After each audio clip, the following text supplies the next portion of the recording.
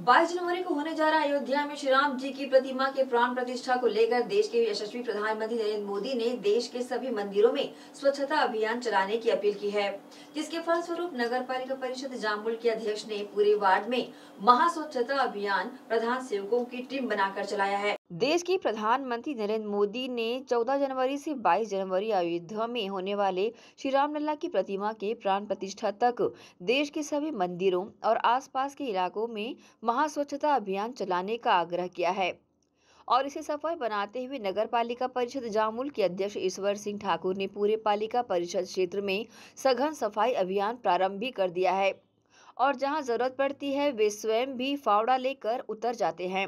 स्वच्छता का संदेश देने इस महा सफ़ाई अभियान के लिए ईश्वर सिंह ठाकुर ने प्रधान सेवक टीम का गठन भी किया है। टीम प्रतिदिन हर वार्ड के हर मोहल्ले में जाकर वृहद रूप से सफ़ाई अभियान करना चालू भी कर दी है।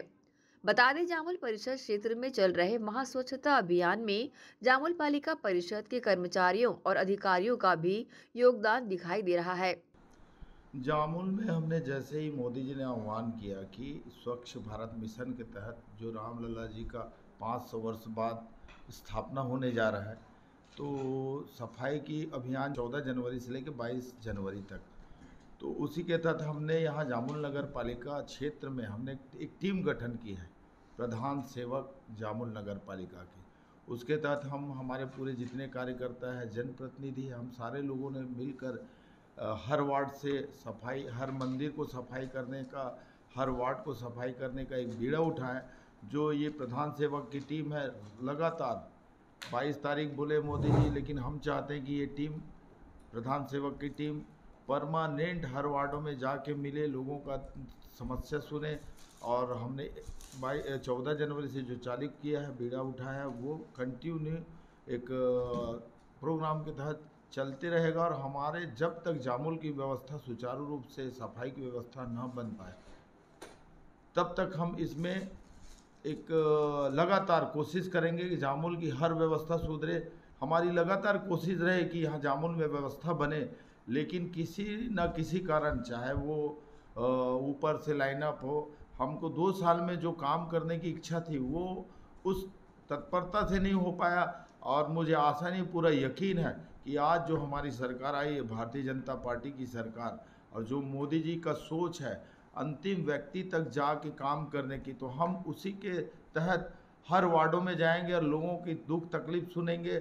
इसी बीच पालिका अध्यक्ष प्रतिदिन वार्ड वासियों से मुलाकात कर रहे हैं और इसी मुलाकात में उन्हें पता चला कि पालिका परिषद जामुल के कुछ अधिकारी कर्मचारी आज भी भ्रष्टाचार को खुलेआम बढ़ावा दे रहे हैं, जिस पर नाराज़गी जताते हुए पालिका अध्यक्ष ईश्वर सिंह ठाकुर ने साफ़ शब्दों में अधिकारियों, कर्मचारियों को खरी खोटी सुनाते हुए कह दिया है कि अब ऐसा कुछ भी नहीं चलेगा जिससे जामुल की जनता हैरान और परेशान हो। जो यहाँ नगर पालिका में अव्यवस्था की वातावरण बनी हुई है, भ्रष्टाचार का एक अड्डा बना हुआ है। अब ये भ्रष्टाचार जामुल में नहीं होगा। मैं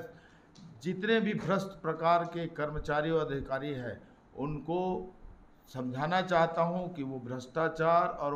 अव्यवस्था अब नहीं रहेगा। आप सभी लोग मेरा साथ दें और जामुल की व्यवस्था बनाने में सभी योगदान दें। मैं आम जनता, मेरे जामुल के जनता, जनार्दन से भी निवेदन करना चाहूँगा, ये हमारी अकेले की ज़िम्मेदारी नहीं, जामुल की व्यवस्था बनाने में। मैं समस्त जामुल नगर पालिका के, समस्त नगर के जनता, जनार्दन से आह्वान करता हूँ कि सफ़ाई अभियान में आप भी 10 मिनट दे या एक घंटा दे, लेकिन आपका सहयोग मेरे साथ में हो और जामुल की व्यवस्था बनाने में आपका बहुत बड़ा योगदान हो। यही मेरी आप सभी जनता जनार्दन से निवेदन है और अपेक्षा है। बताना चाहेंगे 22 जनवरी को अयोध्या में होने जा रहे मर्यादा पुरुषोत्तम श्री राम जी की प्रतिमा की प्राण प्रतिष्ठा को देखते हुए पूरे भारत में विशेष तौर पर सभी मंदिरों में स्वच्छता अभियान चलाकर रंग रोगन किया जा रहा है। इसी तर्ज पर जामुल परिषद क्षेत्र में भी सघन सफ़ाई अभियान, जामुल पालिका परिषद अध्यक्ष ईश्वर सिंह ठाकुर द्वारा बनाए गए प्रधान सेवक टीम द्वारा किया जा रहा है। ACN twenty four into seven news के लिए संतोष शर्मा की रिपोर्ट।